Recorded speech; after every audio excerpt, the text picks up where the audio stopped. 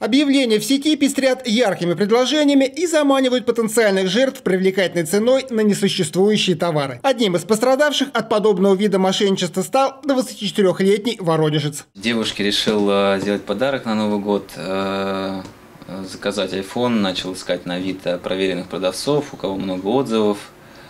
Вот. Эм, списался вот с товарищем, мне заверили, что скоро будет поставка с Дубая, и через 10 дней я получу свой телефон. Молодой человек сразу же перевел продавцу всю сумму, однако забрать покупку так и не смог. Потом человек начал просто кормить завтраками, что завтра-завтра встретимся, сейчас не могу. Потом выяснилось, что айфона нет, мне пообещали, э, скажем так, более лучшую версию с, более, с большей памятью.